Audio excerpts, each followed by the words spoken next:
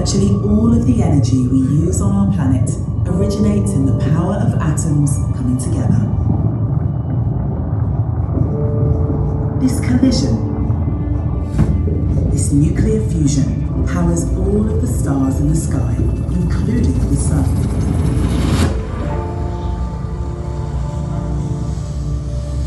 This energy makes all life on Earth possible. Energy heats the Earth.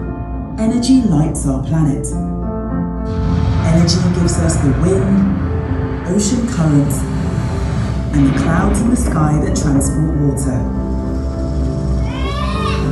Energy sustains all living things. We have harnessed the transformational power of energy to grow, survive, and thrive for thousands, for thousands of years. The story of energy belongs to us.